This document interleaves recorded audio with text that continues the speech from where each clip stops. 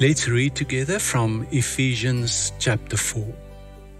That, however, is not the way of life you learned when you heard about Christ and were taught in Him in accordance with the truth that is in Jesus. You were taught, with regard to your former way of life, to put off your old self, which is being corrupted by its deceitful desires, and to put on the new self, created to be like God in true righteousness and holiness. Anyone who has been stealing must steal no longer, but must work, doing something useful with their own hands, that they may have something to share with those in need. This is the word of the Lord. Now, listen, if you can identify with a story, they meet, something happens. For some of us, it will be instantaneously. For others, it would take some time to become aware of the fact that something has happened in this space. For some of, some of us, it won't happen with somebody, but with something. They fall for each other, they fall in love. No planning, it just happened. Everything changes. The way that they think about themselves and the things that were important to them aren't important to them anymore everything changed. And they decide to say yes to each other. They make a commitment, but they had no idea what they were letting themselves into. After a while, a power struggle takes place. The yes becomes a yes, but if you do this, I would do this.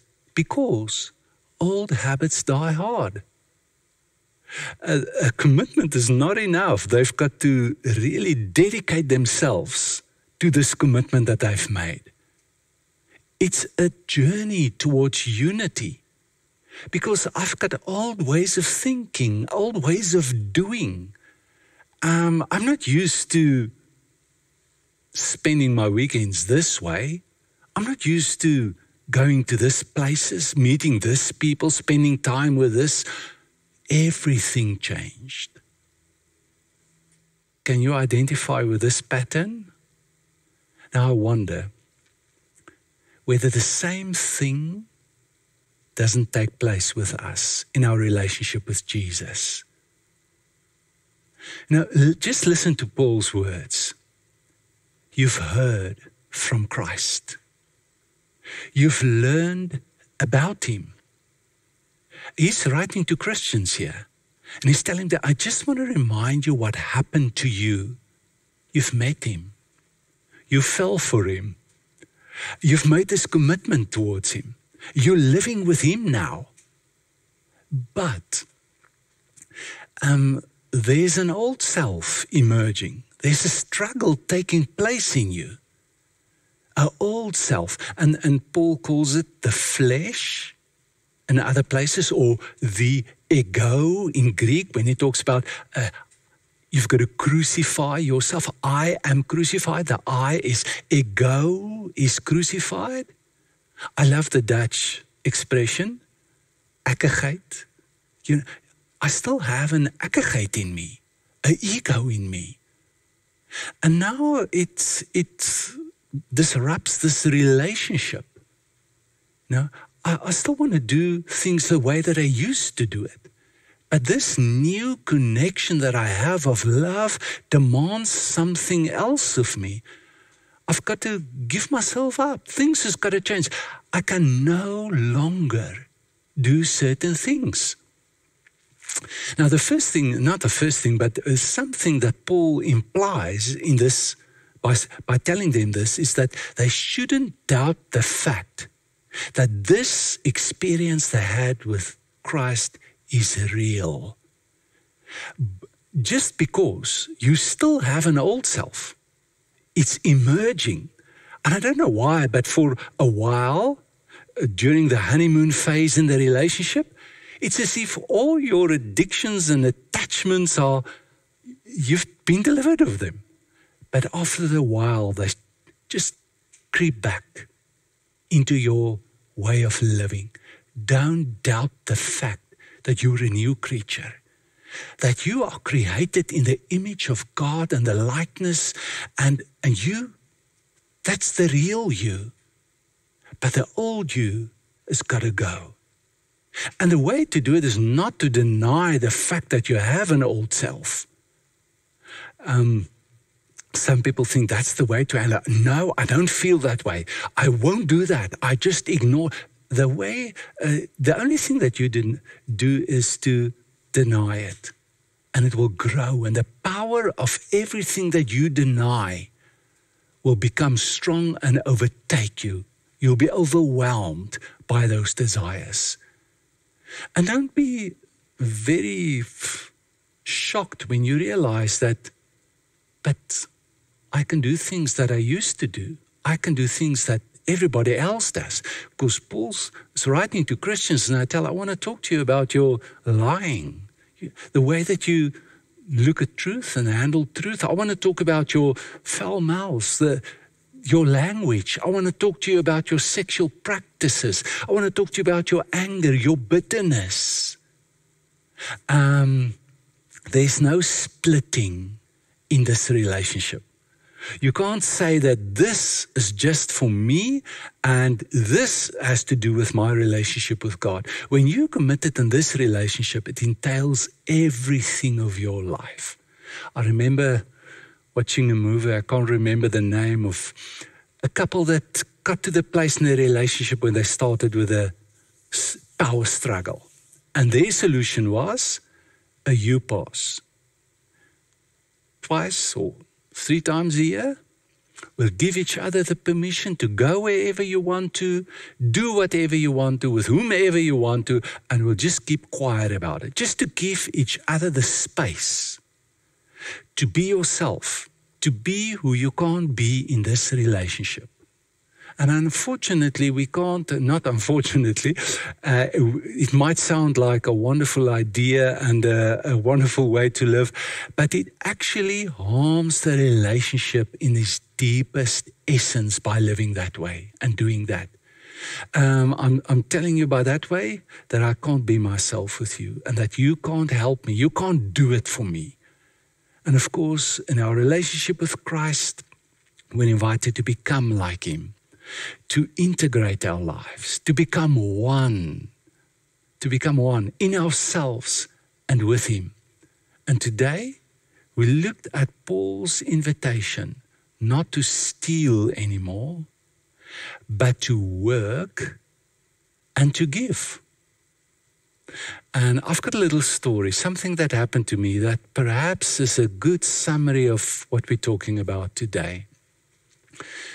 I was attending a class, and uh, our lecturer was the dean of the School of Psychology, and he's a committed follower of Christ. Now, I remember him coming into the class and saying, I've got something important to share with you.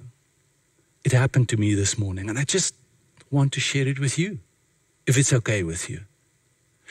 You see, This morning, I did a gospel contemplation on the parable of the Good Samaritan by Jesus. Now, what he meant by gospel contemplation is praying with your imagination. Uh, in a gospel contemplation, it's old way praying in the church. You imagine yourself as one of the characters in a story. And first, through active imagination, you think of what other, how others would respond. But with practice, you'll you'll experience passive imagination. Your Im, your it would become like a movie. The characters would, without you thinking of what they must say or would say or might say, will start speaking to you. And he said, This morning, I was the robber in the story. But I want to tell you, I am the robber. I am the thief. And he said, I realized that the Levite and the priest in the story are also robbers because they robbed the guy that were in need of help by not helping him. They didn't do anything bad in a sense, but they didn't do the good that they should have done. And in that way, they did something bad. And when he said it, I couldn't help but to think of Ephesians 4:28 that we're sitting with at the moment.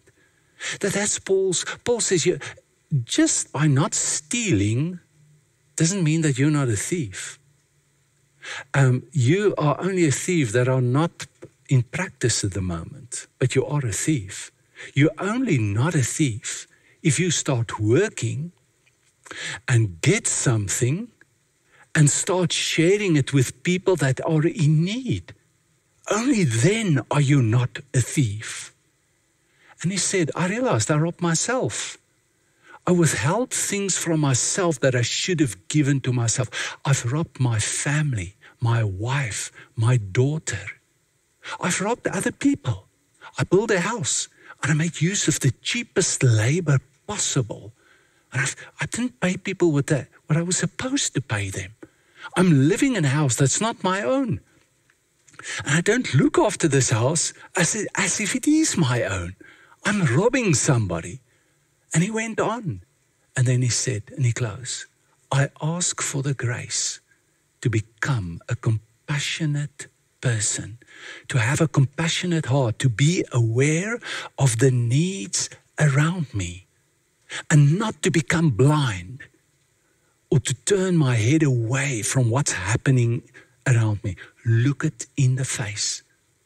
And then I want to give and I ask God for the discernment to spend my energy wisely and to give to the people and to the needs of people that I should. And he closed off. And that's what our life with Christ is all about. It's becoming of aware of the no longer in our lives.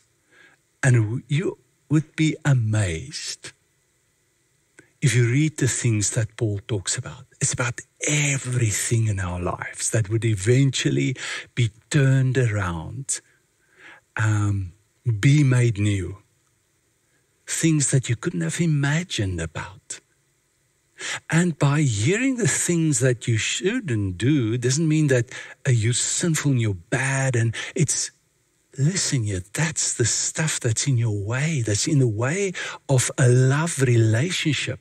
It's the stuff that's keeping you back. It's deceitful desires. You think that living with those desires for those things will give you life. It's deceitful. They promise what they can't give you. Let them go. It's the old way of doing and living, and live into the new life with Him that God has for you. Now, the th- second big thing is that we should do something useful, to, to use the words of Paul. So it's not just a matter of stop doing something. The way that you stop doing something is to do something useful.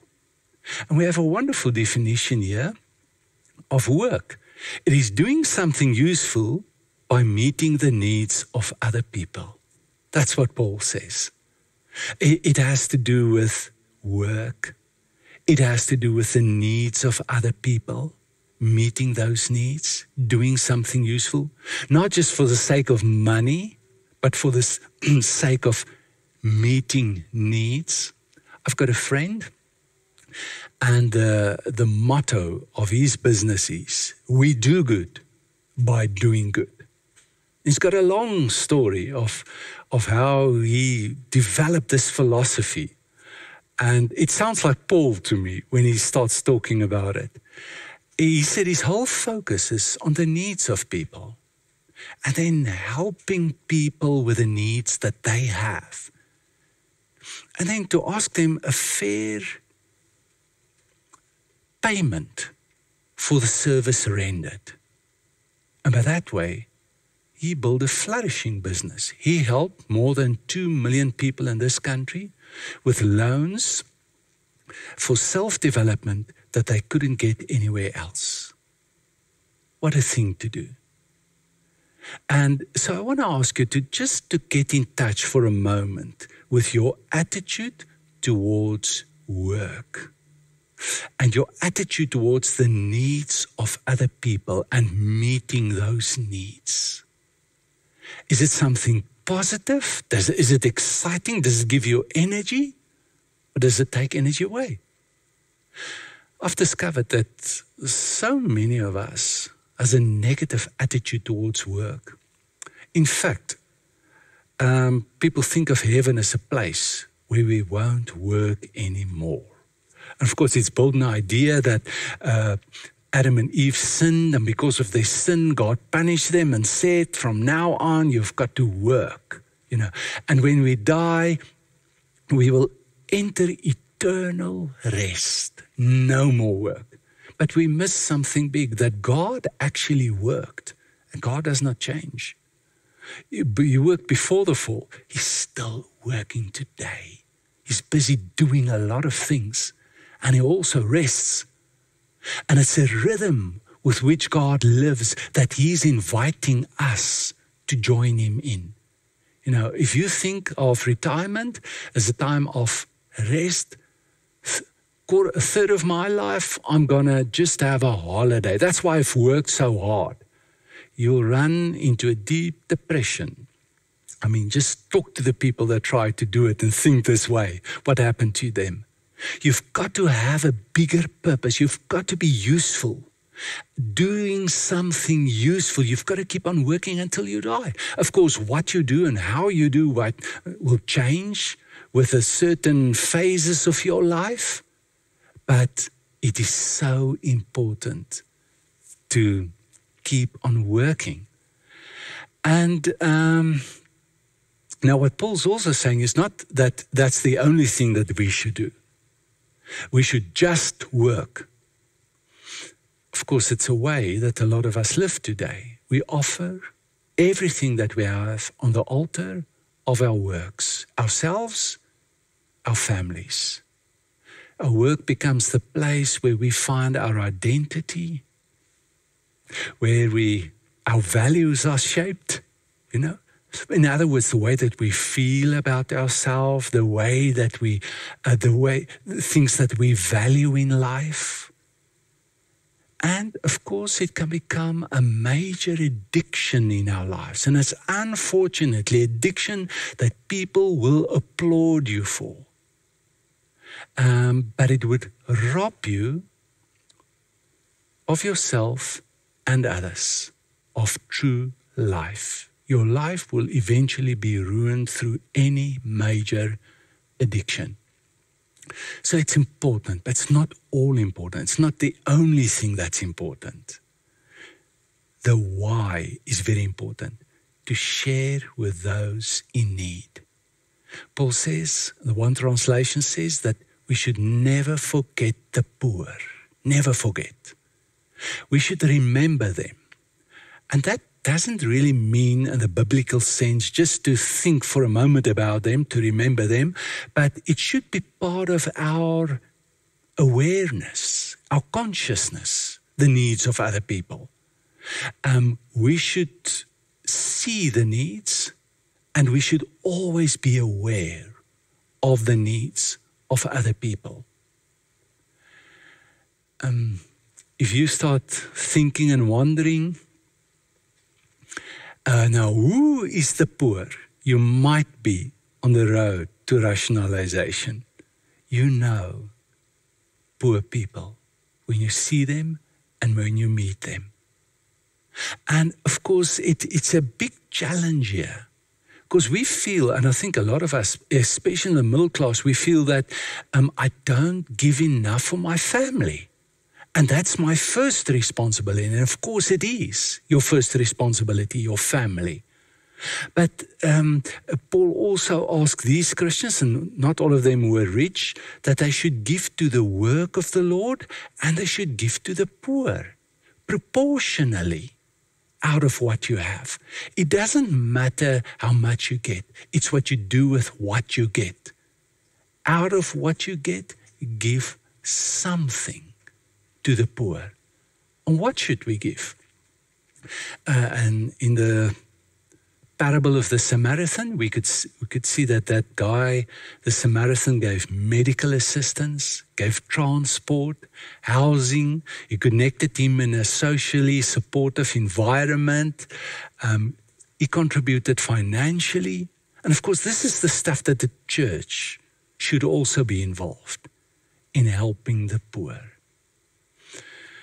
I want to close with a story I once met somebody, I had to do with somebody that didn't share my belief in God. In fact, he, he does not believe in a God.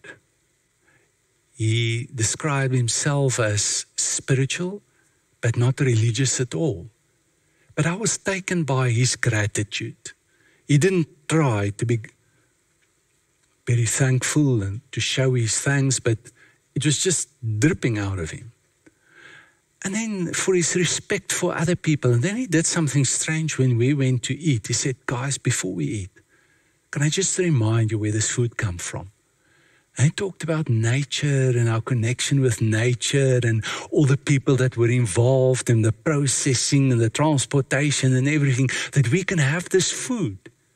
And then again, he, he, was just so thankful to the people and, and to nature, to Mother Earth. He said, and then he did something strange. He said, And I want to use this food to give me energy, to sustain my life. And I want to make a promise to you guys that I want to be as compassionate as I can be with the power and the strength that I get to make this world a better place. And at that moment, I thought of this parable that Jesus spoke about. And I couldn't help but to think perhaps I'm more like the priest than I am like the Samaritan. You must remember, in this parable, the Samaritan were the guy with the other faith, uh, other culture. The priest and the Levite were the guys that had the right faith. In, in, in theological terms, they had the right orthodoxy. Orthodox betekent right doxy belief. But this other guy had the right practice, orthopraxis. And Jesus says, be like the Samaritan. Live with compassion and do it. And that's our invitation. I don't know where you are. Perhaps you're at a place where you're considering following Jesus. Uh, perhaps you're on the journey and you can feel the struggle between the old and the new within you. And you're invited to become like Jesus, compassionate. You're invited to look the needs of people and the people around you in the eye and your own needs. And you're invited to give, to work, to share and in thus entering into a new kind of life. And that's what we ask. Let's take hands. Let's do this together. Let's encourage each other to care for our families, to care for the work of God by giving out of what we earn, and to give to the poor and to serve the poor. Let's pray together. Father, we thank you for the kind of life that you inviting us to. Um, thank you for the new self that we have received.